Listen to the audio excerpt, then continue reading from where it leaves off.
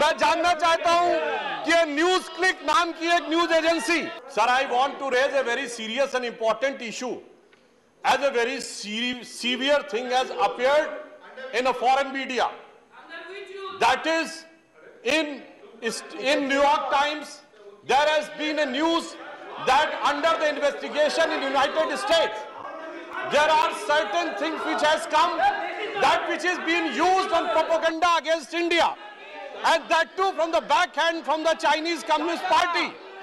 और यह बात मैं बताना चाहता हूँ कि वहाँ पर यह बात आई है कि मेवाइल रॉय सिंघम नाम के एक अमेरिकन के द्वारा इस प्रकार की बातें आई है। और उनके द्वारा ये बात भारत के भी जिन संस्थानों के ऊपर कुछ समय पहले ईडी की रेड हुई थी आज समाचार पत्रों में आया है कि वो भारत विरोधी शक्तियों के द्वारा उनके पास आर्थिक स्रोत आते थे।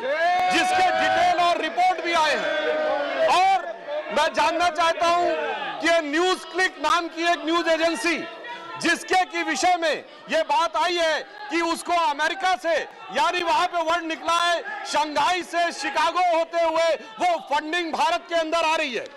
और मैं इस विषय में ध्यान आकर्षित करना चाहूँगा कि हमारे विपक्ष के नेता एक नहीं अनेक बार उसी संस्था के बारे में, जिसके बारे में विदेशी फंडिंग की बात आई है, जो चाइनीज़ प्रोपोगंडा की बात आई है, उसके बारे में अनेक बार बोल चुके हैं।